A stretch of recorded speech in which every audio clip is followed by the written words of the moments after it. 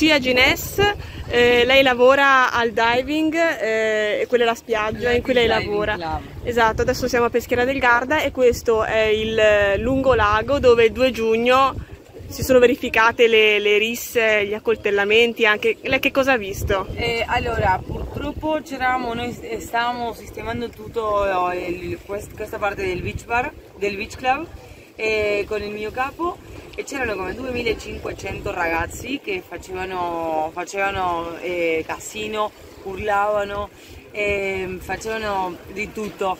E se- erano come 500 di là e poi un, po', un altro, un paio più avanti dove c'è il posto libero nella spiaggia. Si picchiavano? si picchiavano, si rubavano tra di loro, eh, urlavano.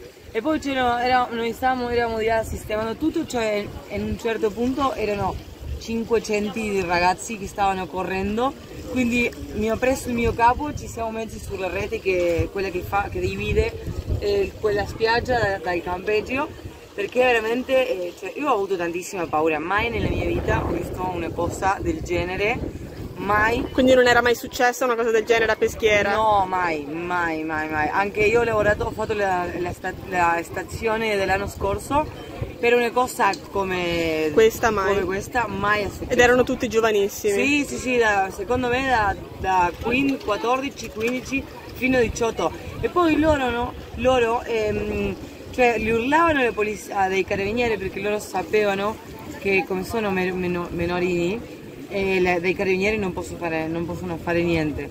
E purtroppo, secondo me questo non, non accade di nuovo, non succede di nuovo perché adesso eh, sono arrivati tutti quanti de- eh, del comune di Castelnuovo del Garda e adesso la polizia eh, sta girando tutto il tempo, quindi secondo me non succede di nuovo. Però purtroppo è stata una situazione orribile perché noi abbiamo lavorato tantissimo tutto l'anno per portare avanti il posto.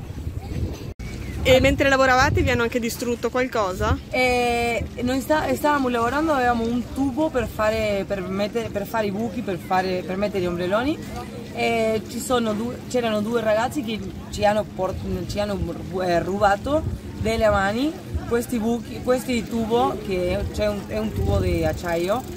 Non lo so alla fine che ha fatto lui, Pericoloso? però è pericoloso perché cioè, lui era, questo ragazzo era proprio fuori di testa Ubriaco? è ubriaco e per, figurati con un tubo di ferro, di, di acciaio, non so alla fine che ha fatto, però sicuramente non ha fatto niente di bene.